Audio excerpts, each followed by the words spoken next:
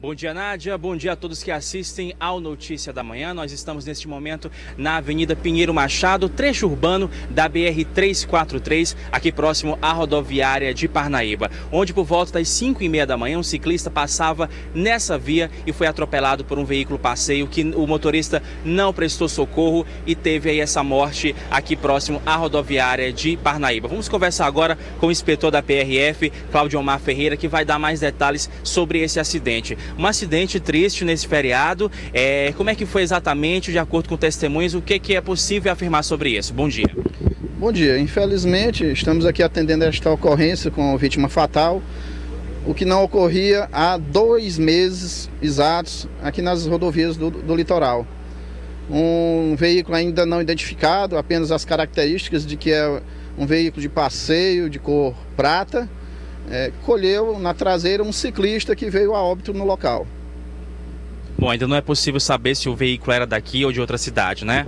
Ainda não. Estamos fazendo levantamento, inclusive de, de câmeras do local e vendo alguma testemunha que possa ter presenciado e possa nos repassar mais informações para que possamos é, é, concluir nosso boletim de ocorrência.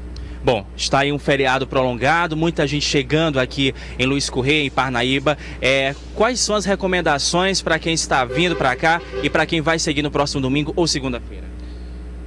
Exatamente. A Polícia Rodoviária, ela intensifica, ela dedica algum esforço a mais nesse período, o que a gente pede também por parte da, da, da população, dos usuários das rodovias, que tenham é, é esse acréscimo na sua atenção ao, ao dirigir o, o veículo.